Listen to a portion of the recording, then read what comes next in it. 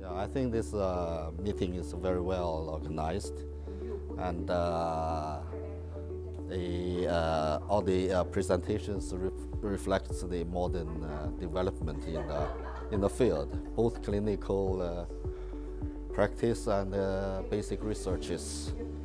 And I am especially happy that in this meeting I saw a lot of young, young people, young doctors, young colleagues. So they are very, very active and very friendly, and uh, they are uh, mostly from Asia. So I'm uh, originally from uh, from Asia, from China.